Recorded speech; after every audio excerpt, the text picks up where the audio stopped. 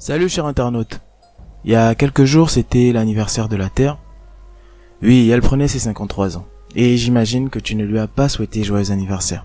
Tu peux te rattraper en regardant cette vidéo, en likant, en partageant et en t'abonnant. Et n'oublie pas d'activer la cloche de notification pour rien rater. Si c'est fait, assieds-toi et mets-toi très très très très bien. C'est parti. Selon les spécialistes, l'humanité daterait de 2 à 3 millions d'années, en comptant les premiers hominidés du genre Homo. Ce qui représente rien du tout devant l'âge des plus vieux fossiles d'organismes vivants découverts possédant 3400 milliards d'années.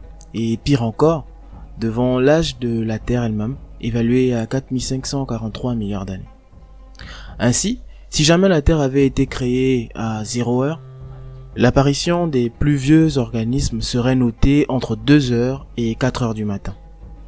Et ce serait seulement vers les 11 heures qu'on pourrait voir apparaître les traces des premiers homos. En gros, l'homme n'est qu'un bébé quand on regarde l'âge que pourraient avoir certains organismes sur Terre. Pire encore, devant l'ancienneté même de la Terre. L'homme n'est rien du tout. Durant les débuts de l'humanité, l'homme va développer des outils, dompter le feu, réaliser des dessins sur les murs et bien d'autres. Il développera d'abord des outils en pierre polie, ensuite en cuivre, puis en bronze et en fer, ainsi de suite.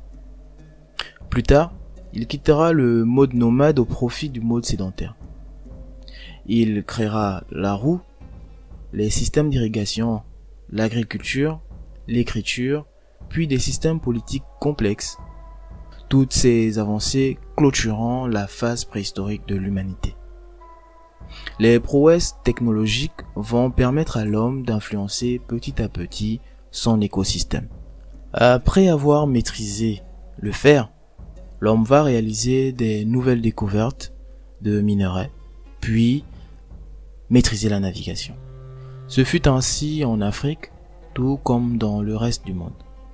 Plus tard, les machines ont été inventées d'abord à vapeur, donc alimentées par le charbon, qui aurait un impact considérable tant sur le plan économique que social. C'est durant ces périodes de révolution industrielle que vont se réaliser malheureusement les deux guerres mondiales. L'industrie moderne et contemporaine, s'il faut le dire ainsi, ont emmené l'homme à atteindre un nouveau niveau de maîtrise de son milieu. Il transforme la nature et parvient à créer à l'aide des ressources qu'elle regorge des quantités importantes d'énergie. Tout au long des différentes phases de l'évolution de la Terre, c'est-à-dire de l'apparition de la Terre elle-même à celle de l'homme, des cas de hausse importante de chaleur ont été enregistrés, notamment entre le Paléocène et l'Éocène, il y a donc 56 millions d'années, causant ainsi l'extinction de plusieurs espèces animales et végétales. Cette hausse de chaleur importante est de l'ordre de 5 à 8 degrés Celsius en moins de 20 000 ans. Il s'agit du maximum thermique paléocène et ocène. Pour expliquer ce phénomène, plusieurs hypothèses ont vu le jour. D'abord, par la décomposition du carbone organique du pergélisol, qui est la partie d'un sol gelé, créé au sol, ayant concentré une quantité importante de CO2.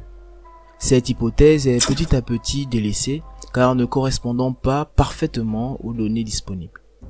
Par la suite, c'est Thomas Gernon et ses collègues qui proposent un nouveau scénario.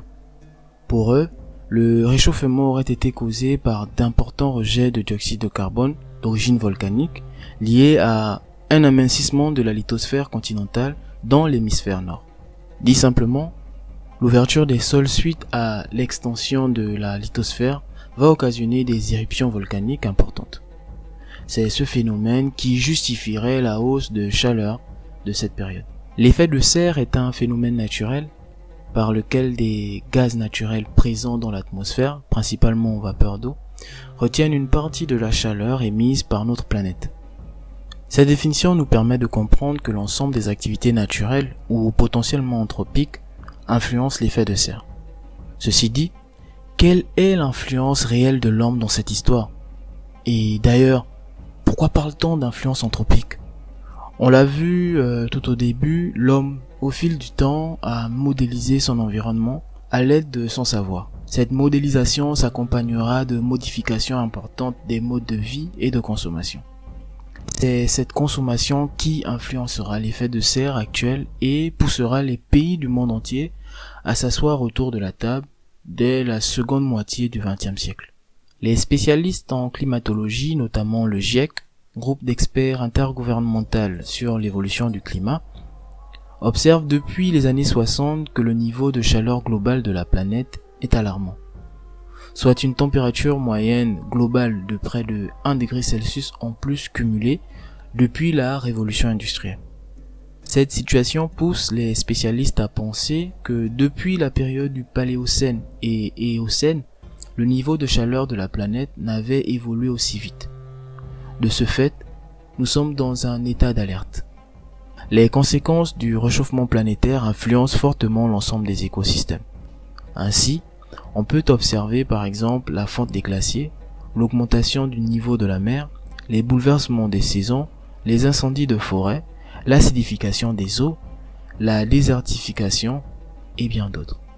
Certes, les pays les plus impactés restent les pays les plus riches, à savoir les États-Unis, la Chine, l'Inde, mais les pays les plus vulnérables sont ceux du Sud, pour des raisons de capacité d'adaptation. C'est quand même assez paradoxal. Il faut donc la technologie pour lutter contre les effets de la technologie. Et la technologie, ça coûte cher. En Éthiopie, par exemple, on parle de la pire sécheresse jamais vécue, selon un article de Reporter. Ainsi, près de 20 millions de personnes sont directement impactées dans la corne de l'Afrique par la baisse des précipitations. De ce fait, 5% de la population éthiopienne se retrouve en situation de grave insécurité alimentaire. Selon le dernier rapport du GIEC, la fréquence de ces événements dans l'est de l'Afrique a doublé depuis 2005 les conséquences sont bien réelles. Et au Gabon, bien que peu visible, on peut constater l'avancée de la mer ou la perte du trait côtier. Par exemple, sur les cartographies ici présentes, reprenons l'avancée de la mer au niveau des côtes du Gabon entre 1981 et 2018, on peut observer qu'une quantité importante du trait de côte se retrouve soit immergée, soit érodée. Dans la baie d'Akwango située au nord de Libreville, 80% des plages sont en érosion contre 20% en accrétion, avec des vitesses de recul autour de 2 mètres par an. Autour de la pointe de Pongara, les vitesses de recul sont de l'ordre de 12 mètres par an. Sur l'île Manji, au niveau du canyon du Cap Lopez, la vitesse de recul est de 3,59 mètres par an. Imaginez un moment dans 80 ans. À quoi ressembleraient les zones côtières du Gabon? Pour les spécialistes gabonais, c'est près de 125 000 hectares qui seront annexés par la mer pour les régions côtières. La prise de conscience du phénomène des changements climatiques va donner naissance à plusieurs outils contraignants. Les plus connus sont la Convention 4 des Nations Unies sur les changements climatiques, la Convention sur la diversité biologique, la Convention sur la lutte contre la désertification, toutes votées à Rio en 1992. Cependant, malgré la prise de conscience des conséquences sur l'environnement, l'ambition démesurée de l'homme ne s'arrête pas. D'où la difficulté de concilier développement économique ou technologique et protection de l'environnement. Le développement met en avant l'ego de l'homme au détriment de l'environnement. Ça, c'est indéniable. Et comment les pays font-ils pour maintenir un certain niveau de stabilité écologique et environnementale? C'est là que rentrent en jeu les concepts comme le principe pollueur-payeur, les taxes carbone, les crédits carbone, les aides financières aux États vulnérables et bien d'autres. Le principe pollueur-payeur est un outil adopté par l'OCDE, l'Organisation des coopérations et de développement économique en 1972. Ce principe a surtout une fonction de régulateur des impacts sur l'environnement et la remise en état. Il s'appuie parfois sur l'emprunt carbone et les taxes associées. C'est donc un principe d'ordre économique au départ appliqué aux pays développés.